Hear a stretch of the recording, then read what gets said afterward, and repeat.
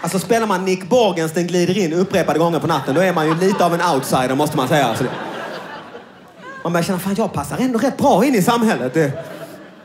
Nej, nej, men jag kanske koketterar lite med det här att åh, jag, jag passar inte in och jag är halvindier och sådär. Och nå, någonstans fattar jag att jag har liksom skaffat både fru och barn och kombibil, så jag fattar att jag är inte helt udda ändå. Det är, väl, det är väl snarare den här rädslan för att inte passa in som plågar mig lite för ofta. Ja, det är jag också kanske. Ja. Men man tänker det här liksom att, nej, men tänk om jag sitter där ensam och isolerad och ingen, ingen vill vara med mig liksom. Och, och det, det kanske är en känsla som alla känner då och då. Kanske främst om man liksom råkar ut för något obehagligt som att bli lämnad eller någon sjukdom eller sådär. Tänker man, fan nu kommer jag sitta här helt själv. I alla fall så kände jag så för eh, två år sedan när jag fick en eh, hörselskada och eh, trodde jag skulle bli döv.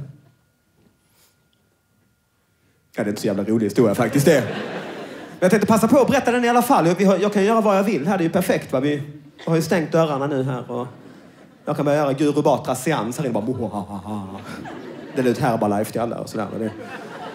Nej, nej, men det här var för två år sedan. Eh, jag skulle uppträda på eh, Norra Brunn här borta i Stockholm. Och eh, ja, en helt vanlig standup-kväll. Jag gick upp på scenen eh, och gjorde första skämtet. Men när folk eh, skrattade så var det liksom som att det högg till inne i huvudet. Det var en fruktansvärd känsla och alla ljud lät helt plötsligt som att de kom från en sån här trasig gammal högtalare, så här skorrande, distande ljud. Och jag försökte ju ignorera det här obehaget så mycket jag kunde. Jag stod där med, liksom med 200 pers framför mig. Men det blev bara värre och värre. Och när folk applåderade, då, då kunde jag liksom inte dölja hur ont det gjorde. Så jag avslutade föreställningen eh, så fort jag kunde. Men när jag hade klivit av scenen och det skulle bli tyst så blev det inte tyst. Utan det började istället tjuta jättehögt i båda öronen. Ni vet, ungefär som på en rockkonsert, fast, eller efter en rockkonsert, fast tio gånger värre. Och jag låg vaken till det här oljudet hela natten. Och nästa morgon så lyckades jag ta mig, lyckades jag ta mig till en eh, öronläkare som konstaterade att jag hade fått eh, tinnitus och hyperakusi. Det vill säga konstant tjut i öronen och överkänslighet mot vissa ljud. Och så sa läkaren det. Hon sa att det är obotligt och du måste undvika bullriga miljöer resten av livet. Och jag tänkte, helvete, jag har blivit allergisk mot skratt och applåder. Det, det är lite ironiskt när man jobbar som komiker. Det... Men det var inte bara det, utan alla vardagsljud blev fruktansvärt jobbiga. Att, att sitta på bussen och höra de här dörrarna öppnas, det liksom skar som en kniv i öronen. Eller sitta och leka med min tvååriga dotter och hon skrek till. Och, och det här blev faktiskt den värsta perioden i, i hela mitt liv. Jag, jag provade allt, så här, eh, akupunktur och homeopati och gick till apoteket och köpte liksom alla sorters öronproppar man kunde få tag på. Och jag hade på mig öronproppar inte bara när jag uppträdde utan dygnet runt nästan. Och på nätterna satt jag och surfade på såna olika forum och tänkte fan jag måste hitta, jag måste jaga efter lösningen. Men ju mer jag jagade efter botemedlet, ju värre och värre blev det här obehaget. Och jag fick ju panik till slut. Tänkte, fan jag kommer inte kunna höra helt. Jag kommer sitta där helt själv. Och det gick faktiskt så långt så att eh, jag funderade på att ta livet av mig. Och sen tänkte jag, nej men fan jag kan inte ta livet av mig. Jag har ju barn. Och det var faktiskt också genom eh, mitt barn som vändpunkten kom.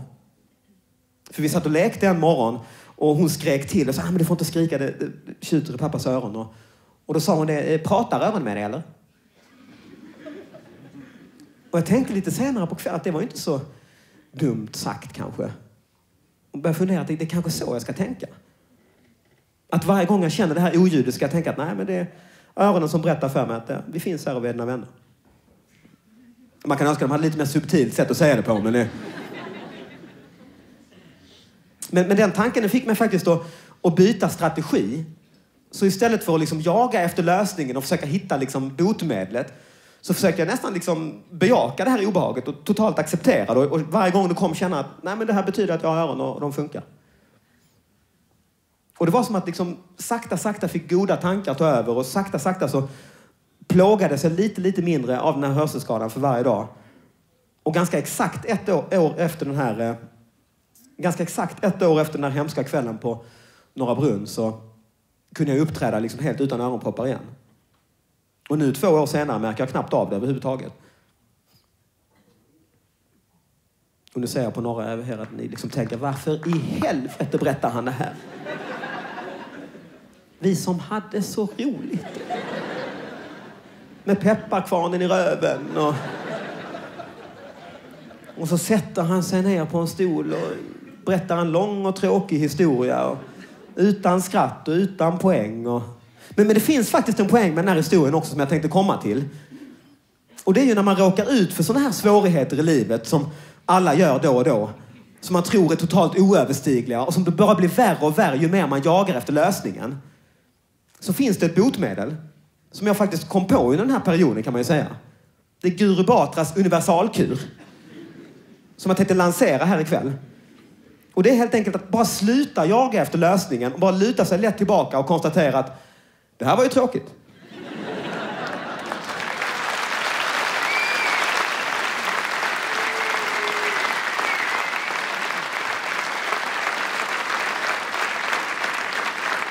Nej, för, för att det fina är ju, det vet ni ju själva, att när man liksom har accepterat en sån här jobbig grej, då, då börjar man ju ganska snabbt kunna liksom skratta åt den och skämta liksom om den. Så nu när jag tänker tillbaka på det här liksom värsta dygnet, när det bara liksom, det här tjutande ljudet och jag hade liksom panik. Och jag ringde hem till min, min pappa i Lund som är gammal forskare och tänkte han kanske kan hjälpa mig. Jag bara, det är ett malande ljud här i öronen. Jag fattar inte vad det är. Du måste hjälpa mig. Det bara, bara pågår hela tiden. Och, och pappa bara, mm, så är det att vara gift. Och det var lite roligt sagt ändå på något sätt. Va? Och, och faktiskt min förebild när det gäller det och, och, och liksom kunna skratta och skämta trots att livet är, pissigt eller till och med håller på att ta slut. Eh, det är faktiskt min svärfar som eh, dog förra hösten.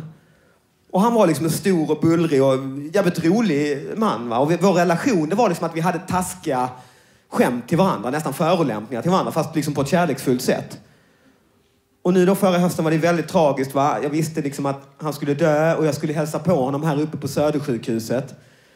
Och det var ju sista gången, det visste jag. Jag kom upp där i hans rum och han låg där liksom smal och utmärglad med slangar och grejer. Och, och jag kommer in där i rummet och, och, hans son satt och höll honom i handen, min svåger då alltså. Och säger liksom, pappa ser du att David är här? Och jag kom in i rummet och tänkte, han, han, är ju from, han kan ju nog inte se mig överhuvudtaget. Liksom. Och hans son säger, pappa ser du att David är här? Och så gick jag nära honom så här och så ser jag hur min svärfar liksom tar i där liksom med några av sina sista krafter, liksom öppnar ögonen och så tittar han upp på mig och säger det är inte mycket att se. Och det var ju rätt roligt sagt på något sätt va? Och det var det sista liksom, absolut sista. Jag tänkte, nu gör jag en förolämpning, det är fan med det jag gör. Det är...